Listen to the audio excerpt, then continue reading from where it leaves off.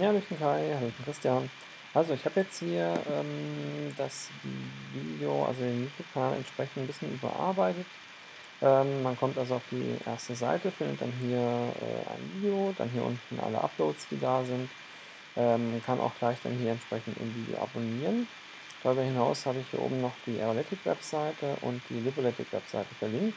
Wenn man hier draufklickt, dann spricht man also gleich direkt aus dem äh, YouTube-Kanal in die entsprechenden Websites. Das ist also hier mit drin. Abonnieren kann man auch. Dann habe ich noch hier das Aeroletic Medical Fit Network.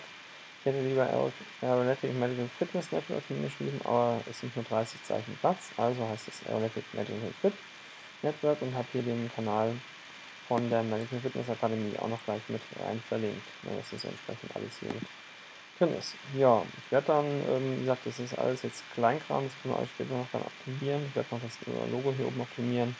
Das Logo hier im Profilbild ist abgestellt, das mache ich dann auch noch. Momentan aber gibt es andere wichtige Sachen, wie zum Beispiel die Präsentation, in der ich jetzt gerade noch dran bin.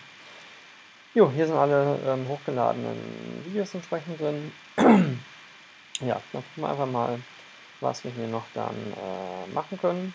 Ja, aber erstmal haben wir ja schon ein bisschen was dann drin. Das ist schon mal ganz gut. Und ähm, ja, ich habe auch gerade mal geschaut. Das ist auch entsprechend der äh, Qualitätsstandard ist dann hier. Man kann also entsprechend hochsetzen auf 720. Ja, das ist schon mal super. Also damit kann man schon was anfangen. Und Kai, ähm, ich habe da nochmal was reingestellt in WhatsApp. Du kannst also auch dann in 1080p mit 60 FPS, also 60 Frames per Second. Das ist relativ hochwertig dann auch noch weitere Videos dann hier ähm, hochladen über dein iPhone. Na, dann ähm, ist der Speicherplatz auf dem iPhone zwar schnell weg, aber die Videos haben eine bessere Qualität. Jo, das war's erstmal. Bis dann, also bis morgen. Ciao.